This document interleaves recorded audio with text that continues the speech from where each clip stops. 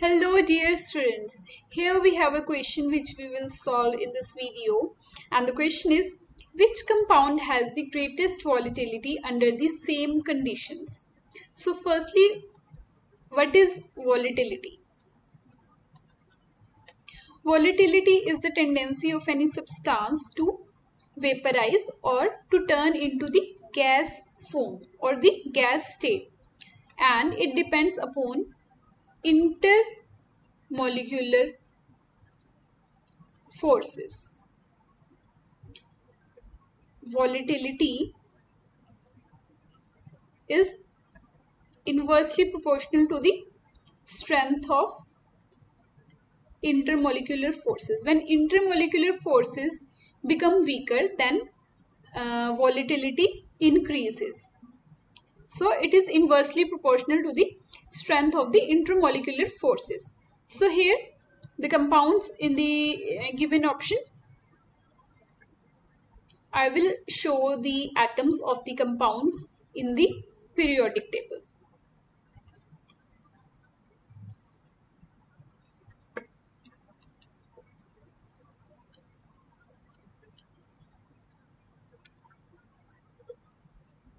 So these are the atoms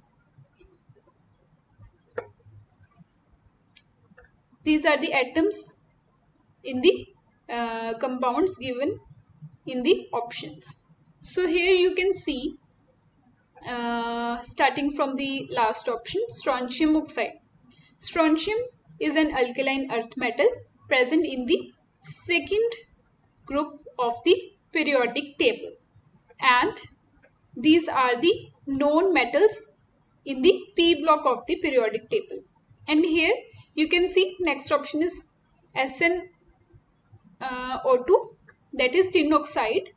So here, here is the um, uh, tin present in the carbon group and oxygen.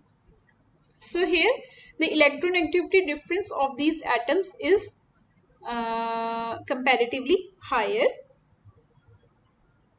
as these are present in the uh, different groups and the next option is silicon dioxide. Again silicon present in the carbon group and oxygen is here. So and next option is sulfur dioxide. In this case sulfur is present in the same group of the oxygen. So if we compare these options to this option in this case uh, electronegativity difference is very less in case of sulfur dioxide or we can say negligible difference in the uh, electronegative difference of the sulfur and the oxygen atoms in the sulfur dioxide. So here as we know the polarity of the molecule depends upon the electronegative difference so electronegativity difference is less which means it is a non-polar compound.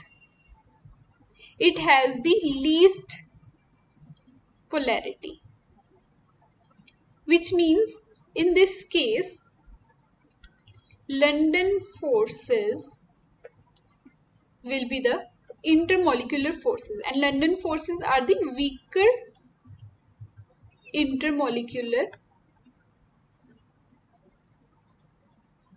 forces.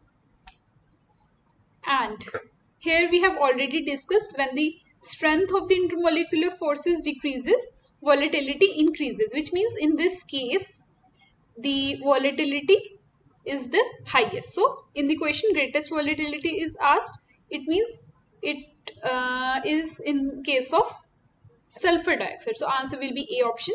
Let's check the mark scheme. Yes, A answer is right. So this is the whole concept behind this question. If still you have any doubts in this question, you can ask me in the comment section. Thank you so much for watching. All the best. Take care.